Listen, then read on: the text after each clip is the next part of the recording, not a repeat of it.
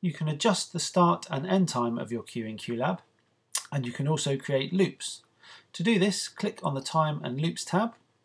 You can see in here you've got the start time and the end time of your audio file.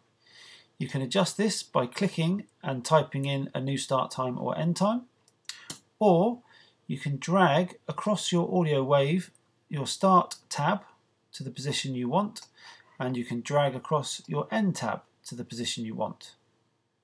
Once you've got those in place how you want them, you'll see up here that the duration of your audio file has changed and now displays the time between your start slider and your end slider.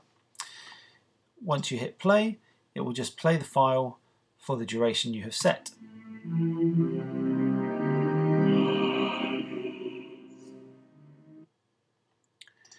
Once you have set this, if you want to loop, you can adjust the play count. To click and just enter in the new play count you want.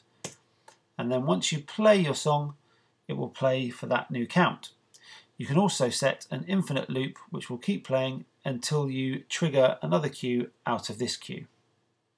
I've set this one for three times.